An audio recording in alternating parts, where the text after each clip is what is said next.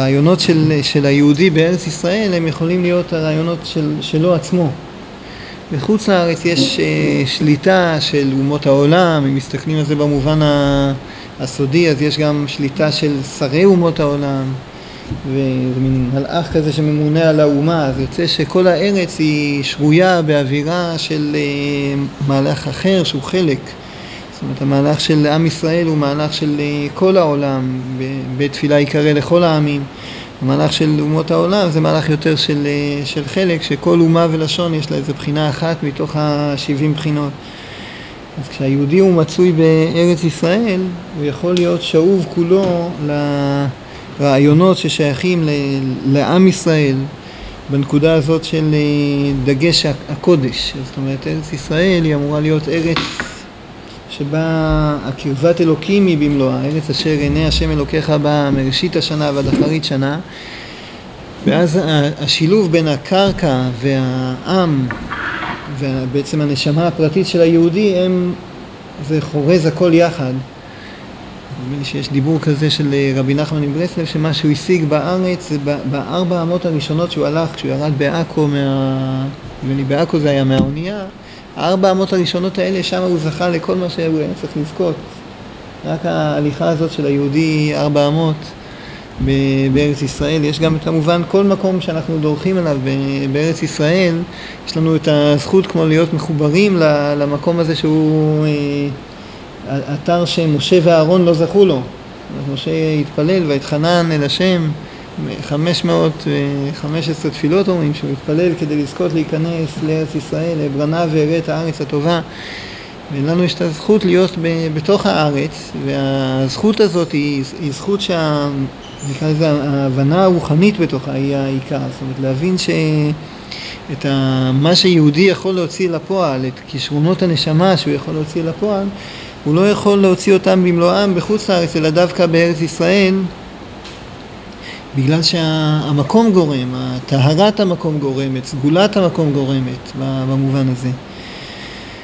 בארץ ישראל זה מגיע נקי, בחוץ לארץ זה מתערבב בגלל הבחינות האלה של אומות העולם או של שרי אומות העולם ששולטים על המקום ההוא, אז יוצא שהמקום הוא, הוא רחוק מה, מהעצם שלו. החיבורים האלה זה בעצם חיבורים של אה, נשמה, אנחנו רואים את האדמה הזאת לא בתור אה, גשם אלא בתור אה, גשם שגנוזה בו גם רוח. היא לא לחינם נקראת אה, ארץ ישראל. זה אגב בפרשת מסעי שיקראו בשבת, אז יש את חלוקת הגבולות. הים של ארץ ישראל זה לא הים של חוץ לארץ, לא הים כנרת ולא הים הגדול ולא ים המלח, הם אה, ימים שהוזכרו בתורה ויש להם ערך של תורה, קדושה של חיי תורה למקומות האלה. אולי זה קשור קצת למה ש... נעמן, הוא בא לנביא ואומר לו תטבול שבע פעמים בירדן. ונעמן היה שר של ארם, הוא בא לנביא ואומר לו תטבול שבע, שבע פעמים בירדן ואז אתה, ואז אתה תהיה טהור. והוא אומר לו, יש לנו אמנה ופרפר, נערות דמשק יותר טובים מהירדן שלכם, והוא לא מצא עד ששכנעו אותו, מה הוא כבר אמר לך, תטבול שבע פעמים בירדן. טוב, אולי אפשר להוסיף עוד איזה רמז קטן שקשור גם לארץ ישראל. העניין של הנעמן, נדמה לי שהצרת וגאווה הולכים ביחד, והירדן, לא יודע אם שמים לב לנקודה הזאת, מבחינה טופוגרפית אפשר לקרוא לזה, הירדן הוא נקרא, הירדן הוא יורד, הוא יורד ממקום נמוך למקום עוד יותר נמוך, זה המסלול שלו.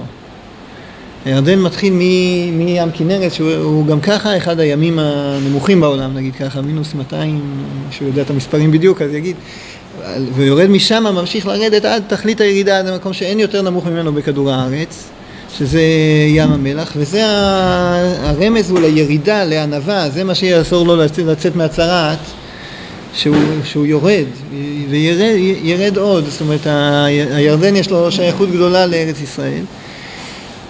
ו- וארץ ישראל יש לה עוד איזה רמז שקשור לענווה, זה היא נקראת ארץ כנען, שהיא קשורה לכניעה, לעמידה מול השם, רק הכנענים לקחו את זה למקום אה, שגוי, אנחנו מדברים על כניעה כלפי שמיים, בעצם התיקון והוא, והוא הפוך, זאת אומרת הישראל, השם הזה של ישראל, שרית עם אלוקים, הוא לכאורה מדבר על בחינה הפוכה מה, מהענווה, היא מדברת מי זה היהודים, מי זה, של מי הארץ הזאת, של ישראל, של כאלה שהם שרים עם אלוקים. הם אה, מול מלאך, מול זה הוא מוצא את הגדולה שלו, והשם השני שלה הוא ארץ כנען, ובעצם התיקון הוא באיזשהו חיבור כזה בין הכניעה כלפי שמיים, שהיא גם ממצה את היכולות, הנשמה, את יכולות הגדולה שיש בנשמות האלה של היהודים כלפי שמיים, זה הארץ ישראל. הכנענים הם, הם נכנעים, אבל למה? כשאתה מחליט להיכנע, למה אתה נכנע? אם הוא נכנע ל... ליצרים ולתאוות ולרעש ולהתבהמות שהכנענים כמעשה ארץ כנען לא תעשו או שנכנעים כלפי האלוקות וכלפי שם השם אז אה, בסופו של דבר הישראל שם כן נקרא לארץ ונקרא לעם והפרי הבשל הוא בסופו של דבר רק מהחיבור בין היהודי לבין הארץ דיברנו כבר כמה פעמים בפעמים הקודמות על ההשתוקקות שהיו לצדיקים והחסידים וגדולי התורה לבוא לארץ ישראל שהיא משהו מיוחד לאין שיעור לעומת אה, נקרא לזה כלל עם ישראל. אם מסתכלים על הדורות של תקופת הראשונים והאחרונים העולים לארץ היו הרבה פעמים במיוחד חכמי תורה וגדולי תורה לא יודע, אולי כל שבוע נחליט שנזכיר מישהו אחד, אז אה, נגיד רבנו שמשון משאנץ, שהיה מגדולי בעלי התוספות, ורוב התוספות בש"ס מבוססים על החידושים שלו, אז הוא היה מעליית בעלי התוספות, בעצם אחד מהמנהיגים של עליית בעלי התוספות. נסתפק באחד לשבוע, אבל בכל אופן, מה? אני לא יודע. כן? לא, תזכיר כל אחד.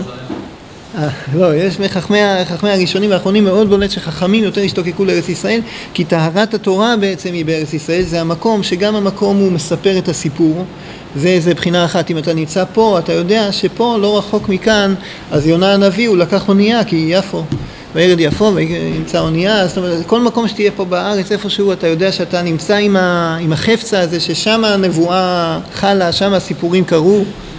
זה צד אחד של, ה, של העניין, ויש צד שני אולי יותר עצמי, האדמה הזאת היא לא במקרה הארץ שאליה הקדוש ברוך הוא שולח את עם ישראל כדי שיבנו בה את המקדש ויחיו את חיי הקדושה, היא בעצם, זה, זה גזרה אלוקית.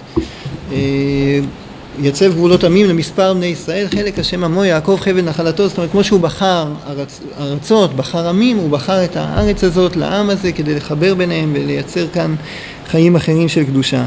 עכשיו, מה יעשה היהודי שנמצא בגלות והוא לא בר אחי לעלות לארץ? אין, אין לו את ההיתכנות לעלות לארץ, אז התרופה שלו נמצאת פה בחצי השני של הסעיף הזה, לפי גודל התשוקה והקישור של האדם לארץ ישראל, הרי רעיונותיו מזדככים מיסוד אוויר עד ארץ ישראל לחופף על כל מי שמצפה לראותה. זאת אומרת, יש לו איזה, נקרא לזה, תרופה חלקית, לא, אם הוא לא זוכה לעלות לארץ, לפחות ישתוקק לעלות לארץ. ולפי גודל התשוקה, ככה הוא מושך עליו טהרה ממקור ארץ ישראל. מה? כמו אנוס, אה, אה, יש אנוס רחמנא פטרי ויש אולי ביטוי אחר שמאוד מתאים לפה זה אה, ישב אדם, חשב לעשות מצווה, מעלה עליו הכתוב כאילו הסעה. במובן הזה יהודי ששרוי בחוץ לארץ יש לו את הציפייה להגיע לארץ ישראל, יש לו מעין חלק מהבחינה הזאת, שמחו את ירושלים והגילו בה כל אוהביה אחד היושב בה ואחד המצפה לראותה באיזשהו מובן. אז גם הציפייה להגיע לארץ ישראל היא גם מטהרת. אני רוצה להזכיר שני פרטים אה, על, על חיבורים כאלה בחוץ לארץ. אחד זה חיבור של הרב קוק, שהוא חיבר ספר בשם ריש מילין, הוא חיבר אותו בלונדון. והרב חרל"פ כותב לו שנראה לו שנמשך איזה צינור ממקום קודש הקודשים עד מקום אה, מושבו בלונדון כדי לטהר את הרעיונות, להגיע לרעיונות כאלה יהודיים. זה מקור אחד הוא של הרב קוק עצמו. ויש עוד סיפור אחר מאוד כאוב, היה יהודי ב, ברוסיה הסובייטית, נפל עליו מסך הברזל, הוא אומר אני רואה שאני לא אזכה לעלות לארץ ישראל. אם אני לא אזכה להיות ירושלמי לפחות אני אכתוב חיבור על הירושלמי, הוא כתב פירוש שנקרא תבונה, פירוש על כל סדרת התלמוד ירושלמי, איכשהו איזה תלמיד חכם אמריקאי הגניב את זה, הדפיסו את זה, זה קיים בידינו היום אומר, אם לא זכיתי להיות ירושלמי, לפחות אני אזכה לכתוב פירוש על התלמוד ירושלמי. טוב, יישר כוח.